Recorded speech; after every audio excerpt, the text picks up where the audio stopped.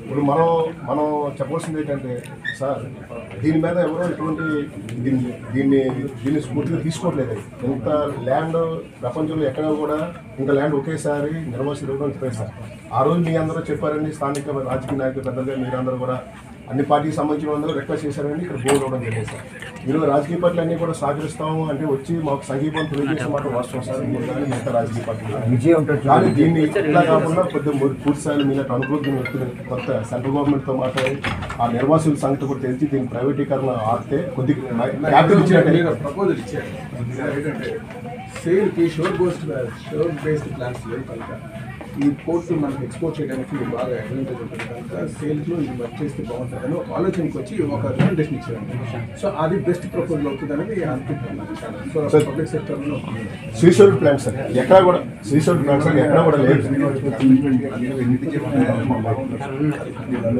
అమలు కాదండి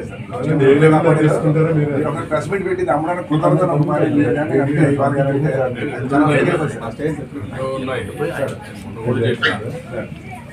ఎప్పుడు కూడా రాష్ట్రాన్ని రిప్రజెంట్ చేసి స్టేట్ గవర్నమెంట్ ఆ రోజు నేను స్టేట్ గవర్నమెంట్లో ఉన్నాను కాబట్టి నేను ప్రవేల్ చేశాను అపోజిషన్లో ఉన్నప్పుడు మనం చెప్పగలుగుతాం తప్ప అభిప్రాయాలు. వాళ్ళు కూడా కన్సిడర్ చేసేది స్టేట్ గవర్నమెంట్ కన్సిడర్ చేస్తారు.